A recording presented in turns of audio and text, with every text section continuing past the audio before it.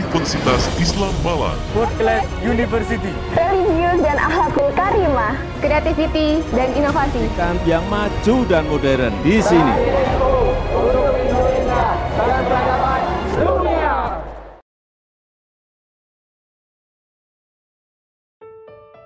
Bismillahirrahmanirrahim. Assalamualaikum warahmatullahi wabarakatuh. Alhamdulillahi rabbil alamin. Waddin.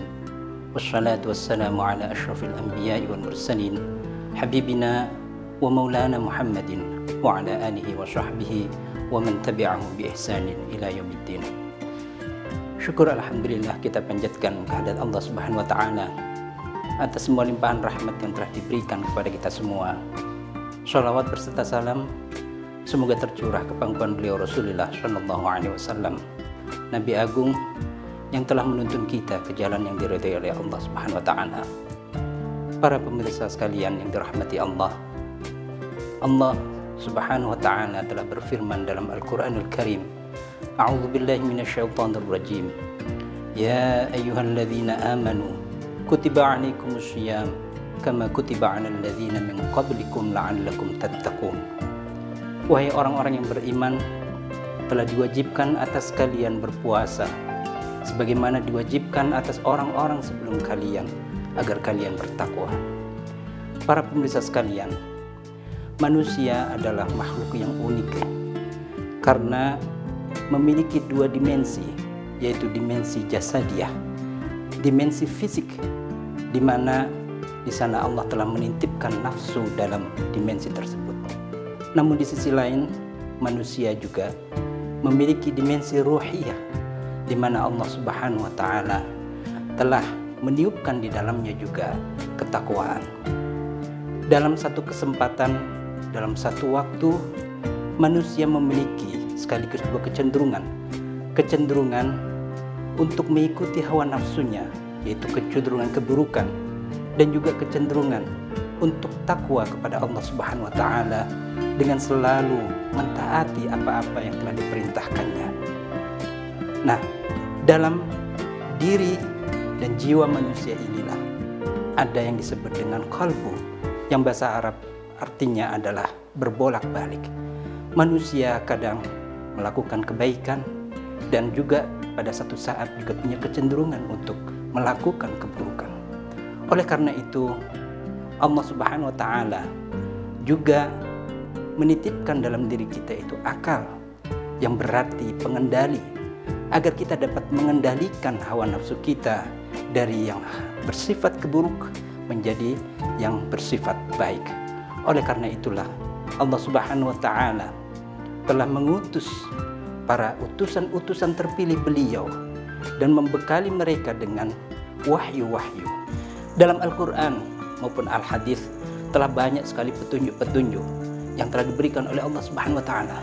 Di antaranya agar kita selalu istiqamah melaksanakan kebaikan-kebaikan tersebut, maka Allah telah memerintahkan kepada kita untuk melaksanakan ibadah-ibadah makhdah seperti sholat, puasa, haji, dan lain sebagainya.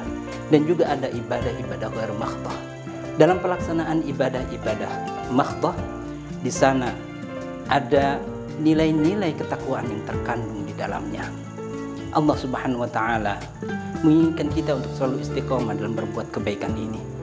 Begitu juga dengan puasa. Puasa diwajibkan bagi orang-orang yang beriman dengan tujuan agar mereka menjadi orang-orang yang bertakwa. Lalu apakah ketakwaan itu? Imam Kushairi mendefinisikan takwa dengan menjelaskan huruf-huruf yang ada dalam rangkaian kata tersebut. Ta berarti tawadu atau rendah hati. Orang yang berpuasa akan dilatih untuk rendah hati. Ya, merasa dirinya rendah dan sebagai seorang hamba tentu dia harus mengikuti apa yang menjadi perintah dari Allah Subhanahu wa taala. Di samping itu, berikutnya adalah qaf. Qaf berarti qanaah atau menerima apa adanya dengan apa yang telah diberikan oleh Allah Subhanahu wa taala kepada kita. Apa yang menjadi pemberian Allah, adalah yang terbaik bagi manusia dan itu yang uh, selalu disampaikan oleh Rasulullah SAW. Kemudian wow adalah wara. Wara adalah menjauhi hal-hal yang sifatnya syubhat. Yang halal itu bayin jelas, yang haram itu bayin. Tapi sangat sulit bagi kita untuk menjauhi hal-hal yang sifatnya syubhat yang tidak jelas statusnya. Maka ketika kita menghindari yang syubhat tersebut, uh, orang tersebut akan terhindar dari melakukan uh, sesuatu yang haram. Dan yang terakhir adalah yakin, yaitu merasa bahwa semua yang kita lakukan, apa yang diberikan oleh Allah Subhanahu wa taala dan di setiap pelaksanaan kebaikan-kebaikan tersebut Allah Subhanahu wa taala akan membalas kita semua. Para pemirsa sekalian, mudah-mudahan pada pelaksanaan puasa kali ini kita keluar dari bulan ini dengan mendapatkan pendidikan sebagai al-muttaqin sebagaimana Allah Subhanahu wa taala dan Rasulullah SAW anjurkan. Rasulullah SAW bersabda, "Man syama Ramadan imanan wa ihtisaban, ghufira lahu ma min dhanbi." Semoga kita dapat melewati satu bulan ini dengan predikat at-taqwa dan kita dapat menjadikan ketakwaan ini sebagai bekal kita untuk menghadapi 19 bulan berikutnya. Mari tanamkan dalam diri kita ketakwaan yaitu nilai-nilai tawadhu, qanaah, wara dan juga yakin. Sedemikian yang bisa saya sampaikan.